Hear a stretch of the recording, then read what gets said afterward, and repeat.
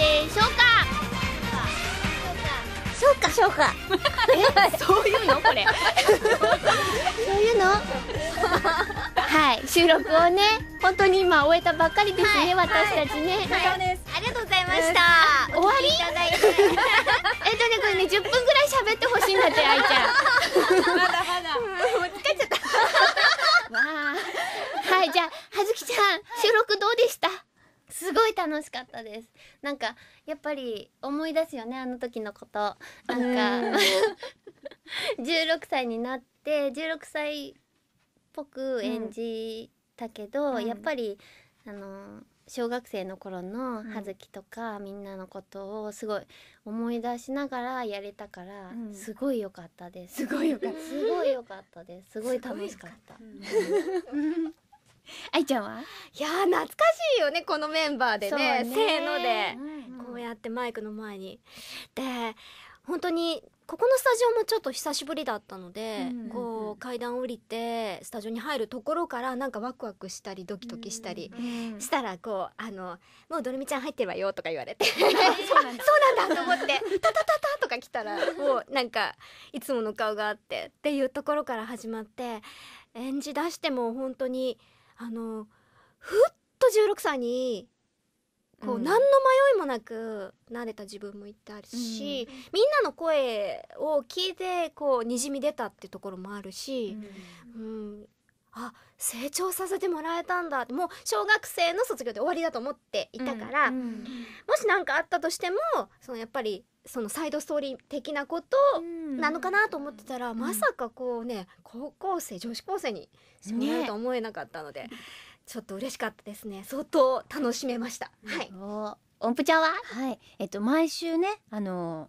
週一でうん。収録でみんなに会っていて、うんあのいつも音符ちゃんを演じると自分が浄化されていく気がしてものすごい可愛いしちゃんとしたこと言ってるしそれをすごく思い出して今日もすごい浄化された。それまでは汚れてたね。そうね。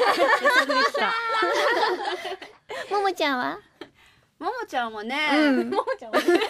楽しかったよ。ももちゃん素美晴味しいよねらしかったよねいや美味しい。私ね本当にずるくね？ちょっと待った、まあ、そうだけど、矢田くんも喋ってるから一応。あー一言ね。そう。ちょっとでも熱い矢田くんになってて、うん。ちょっと一瞬戸惑っちゃって、いやいやでもやっぱりねこう自分のこうハニーがそうね。大変な目に遭ってたらそりゃ熱くなろうよそうだよね。ねえ。結婚しちゃえばいいのにって。そう16歳だだよね。あと4年したら結婚できるね。え、四年じゃないんじゃない？ああと2年じゃん。女の子16でいけるんじそうゃない？はずきちゃんは大丈夫だからなんでダメだよ。そう矢田くんもうちょっと修行積んでからこう人生のね。修行ね。分かった。したら結婚しようね。ラブラブだこいつら。チェチェだよ。いいじゃん小竹くんと結婚。そうだそうだよ小竹くん。えー、国立確率脱の？だってさ一年半って長いよ長い長いどんだ。け引っ張ってしかもまた引っ張りやがったじゃんねいけずなね今日氷星ちゃんに小竹って何回突っ込んだから 彼女も困ってた本人関係ないのよ。いやねえ本当に人生うまくいかないもんだよ。だよって大丈夫よはい毎週今日来て一番一番に来たの。うんで来てで一回トイレ行って出てきたらちょうど葉月ちゃんが来てて「なーん」とか言って二人でこうスタジオの中入ってもうその時から本当になんかあの前の収録の時とこう感じがすごく一緒で自分の中でも。あすごいね。あ不思議と思って。それでこうマイク前立って一番最初に喋るのって実はすごい緊張しない、ね。すごいもうねあの普段もうアホかっていうぐらい心臓バクバクバクバクバクってなるの。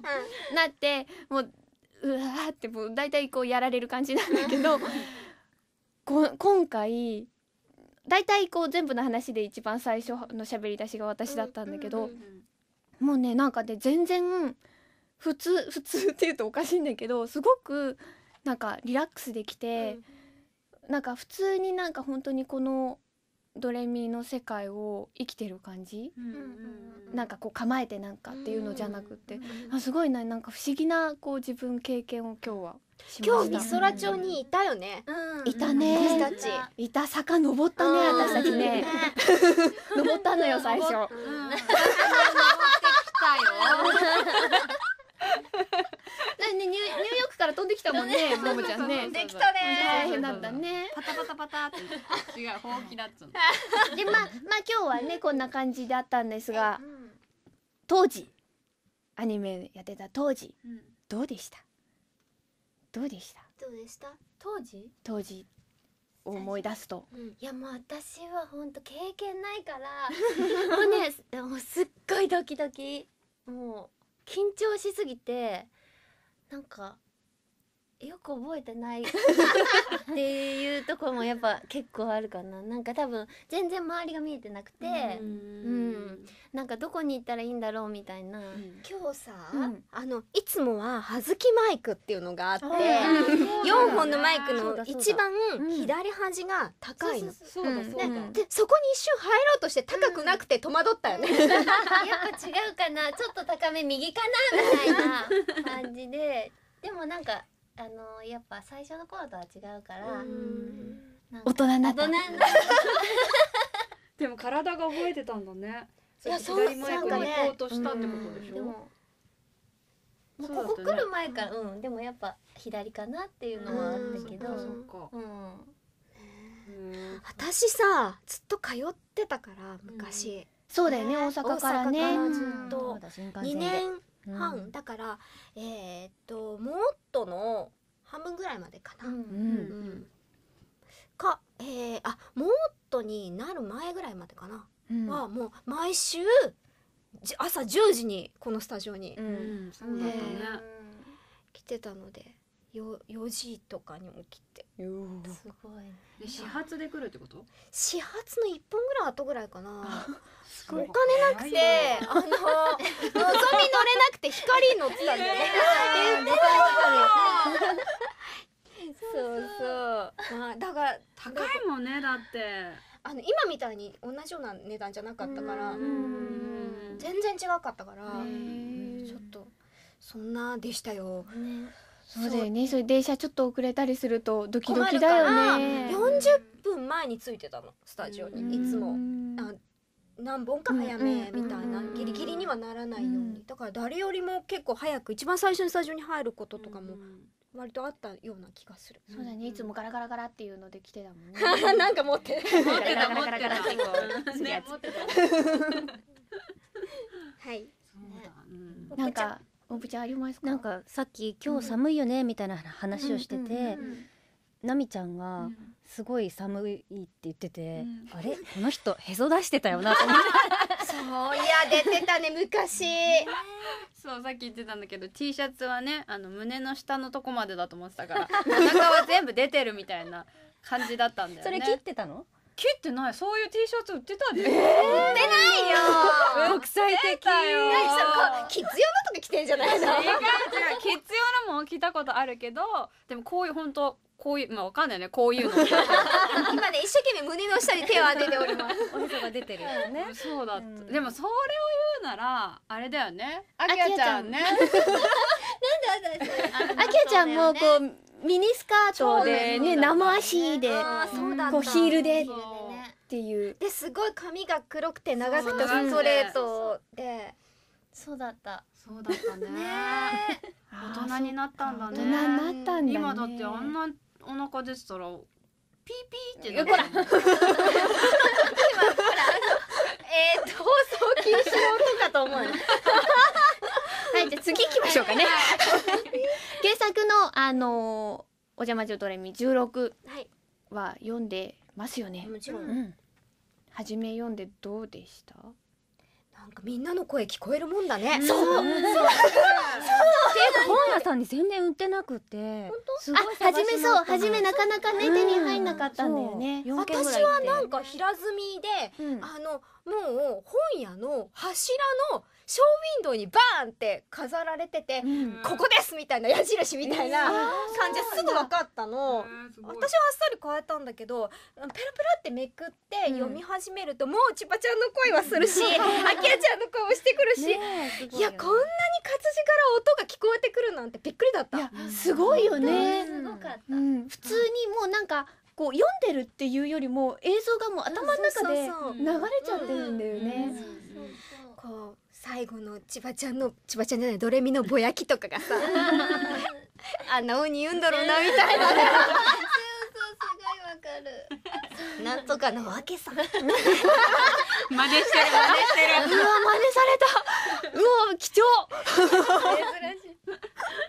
でも本当にこうそんだけね映像や声が浮かぶ小説もそうそうないよね。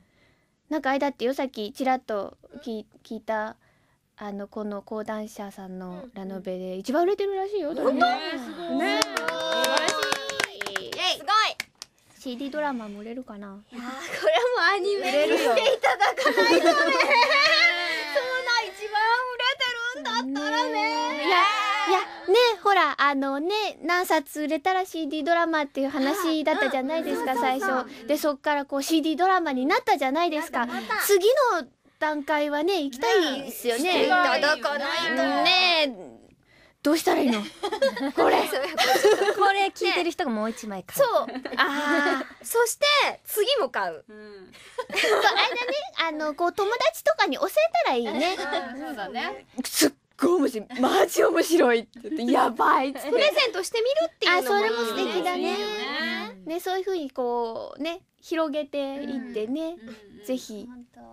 こう再放送とか見てたね、世代とかもぜひこうんうね聞いてほしいね。大人が聞いても絶対面白いって。いや面白いと思う。面白い。とかねあの私たち面白がってすごい楽しくやったよね、今回ね。うんこれは多分作品こう伝わると思う伝わってるよね。うん。返事した？今誰に言った？私みたいな。いや本当こうね楽しいのって伝わるからこうねその伝わった楽しさをぜひこうねうん。他の人にもうん。まだ知らない人にも伝えてほしいなって思うね。はい。はい、ということであのぜひあのこの CD を広めてほしいっていうのも含め皆さんメッセージを。どんなだ、うん。じゃあ葉月ちゃんから。はーい。皆さんありがとうございます。えっとまだこれは最初の段階なのでこれからもっとすごいいろんなことあんなことやこんなこといろんな登場人物も出てきてすごい楽しい。さらに楽しくなっていくと思います。私たちもすっごい楽しみなのでぜひ皆さんで聞いてください。ありがとうございました。はい愛ちゃん。はい。えっ、と今回の作品ってあの昔のドレミにはなかった今のこの時代でこの年代だからこそのトラブルがいっぱい出てくるじゃないですかね。ねでこれから先もそんなあの今だからっていうトラブルに私たちどんどん巻き込まれていくのでぜひ次回作も楽しみにしていただきたいなと思っております。えー、皆さんのお力で続編のそしていつかはアニメ化を みんなの力だけが頼りです強調してるこれからも応援してな待ってるでありがとうございました。本部ちゃん。はい、えー、私ね、すごい欲求不満が溜まってるの。ちょっと待ってよあの今更？疑問が言えなかったことがあちょっと不ーじゃあ言っちゃって今言っていいよ。ちょっとお着替えします。ピリティリッチアンペッチ。あーすっきりした。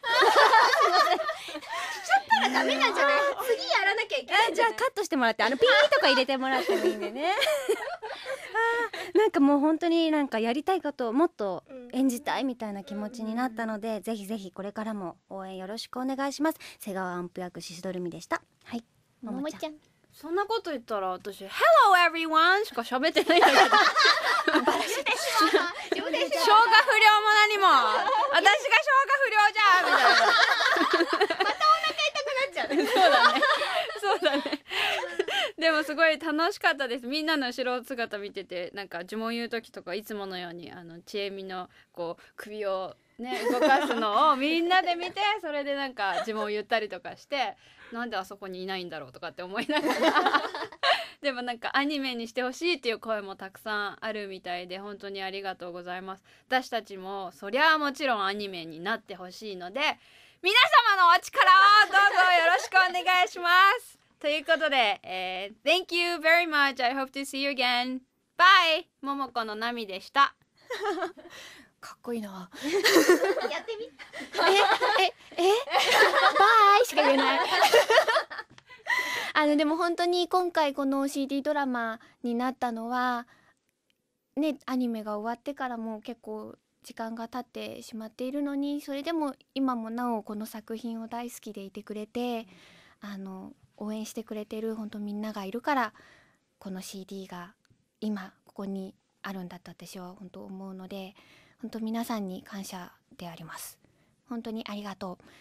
でねぜひとも本当にこの素敵な世界をまた作り上げたいなって思うのでそれには 申し訳ないが皆さんの 皆さんの本当協力も必要だと思うしでも本当純粋に楽しんでもらいたいしこう知らない人とかもこれを知ってなんか元気になったり、あの楽しい気持ちになったりってしてくれたら嬉しいなと思うのでもし知らない人がいたら知らない人にも教えてくれたら嬉しいななんて思います。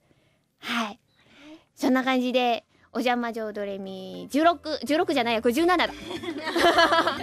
そうだよねこれ17だよね。お邪魔女ドレミ17えっ、とありがとうございました。ありがとうございました。